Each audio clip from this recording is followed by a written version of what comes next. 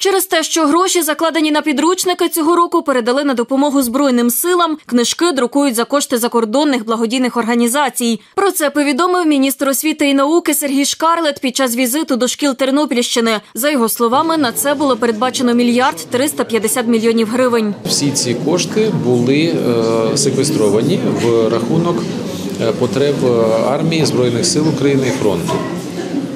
На сьогодні ми звертаємось багато за донаціями до наших закордонних партнерів. Ми вже надрукували всі е, підручники для дітей з особливими освітніми потребами шрифтом Брайля. Ми вже сьогодні отримали підтримку від ем, ЮНІСЕФ, дитячого фонду ЮНІСЕФ щодо друку 472 тисячі примірників математики. Ми вже отримали підтримку від Європейської комісії для підтримки 475 тисяч примірників для історії України. За словами Сергія Шкарлета, усі онлайн-версії підручників є на сайті Інституту модернізації з міста освіти, і ними можна користуватися безкоштовно.